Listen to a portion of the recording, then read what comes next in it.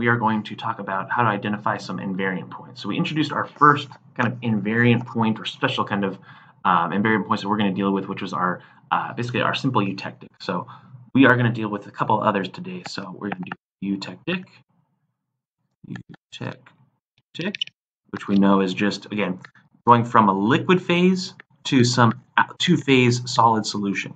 So alpha plus beta, again, those are solids. So eutectic. We also have a peri, peritectic. We have a U. Uh, and then we'll have a peritectoid. So let's go ahead and look at some of these, and we're going to kind of create a little table here, and then I'll give you a little hint on how you could kind of identify these points, um, these kind of bunny ears diagrams. So when we are dealing with, uh, essentially here, uh, a eutectoid, it's going to be a very similar type of transition, except whenever you hear this oid term, for example, so this oid, it means there's a liquid here.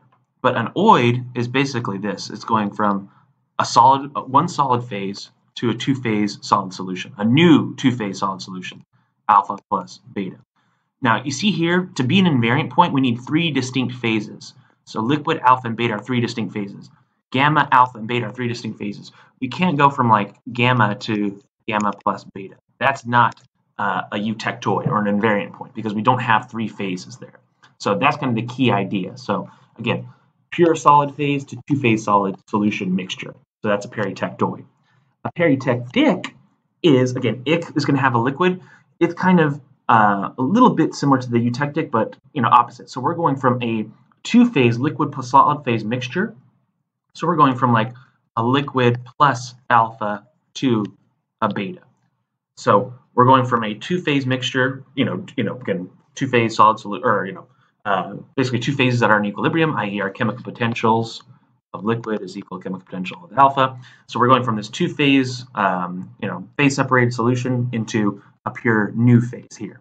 And a peritectoid, again, very similar, except instead of the liquid, it's just going to be alpha plus beta goes to a gamma. That's it.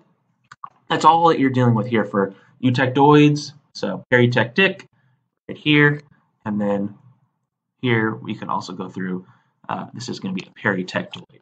So you also have this kind of uh, idea of a monotectic. So it's like a liquid of one goes to a liquid of another. Um, so it's this other kind of liquid phase solution. But again, these are very, very unique uh, kind of points.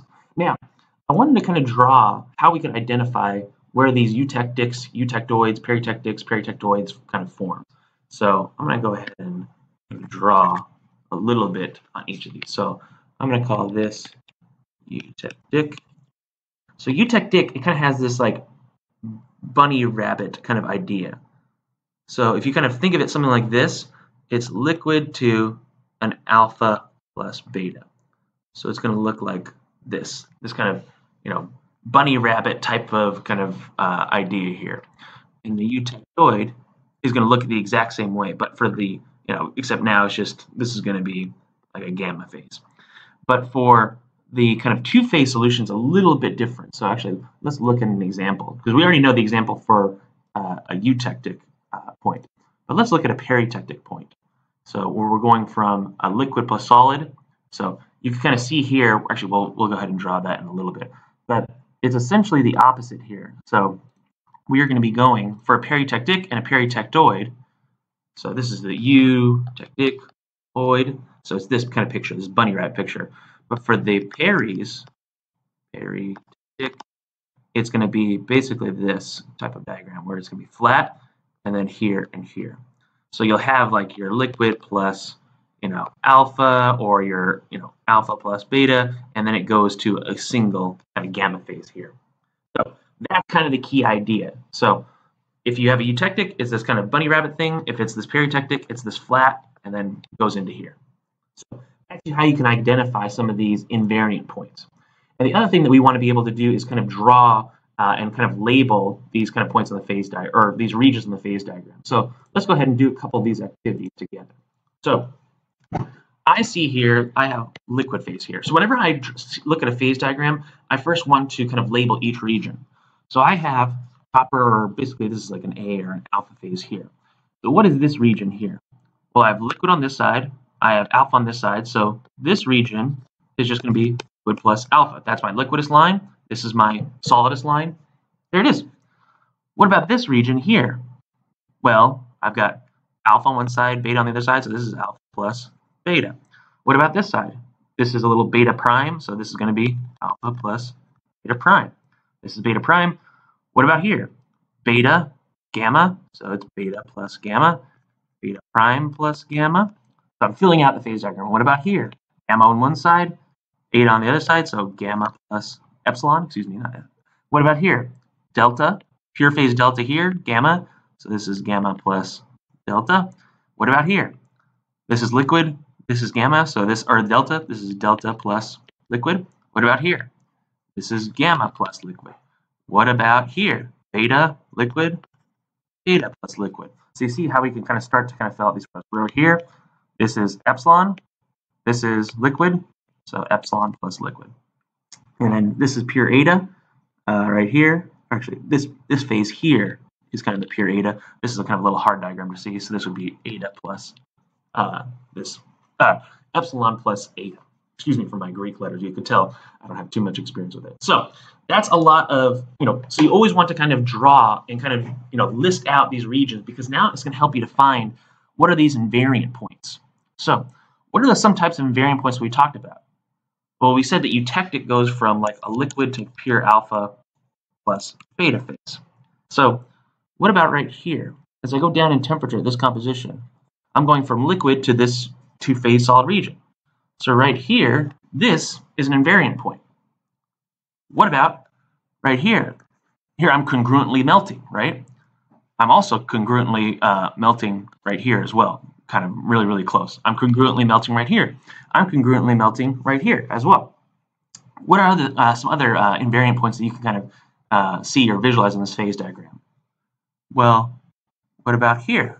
This looks like a peritectic, right? Gamma plus uh, liquid goes to delta. So that's a peritectic point. We've got another peritectic point right here. Remember the flat diagram into here. We've got a peritectoid right here. So let's kind of, I'm going to uh, empty this uh, plot here. I want to kind of emphasize. So this, so at this transition, we are going from liquid to alpha plus beta. So that's a eutectic. Here, that is basically a liquid to, you know, this is a congruent melting point. Uh, so that's our kind of phase transition here.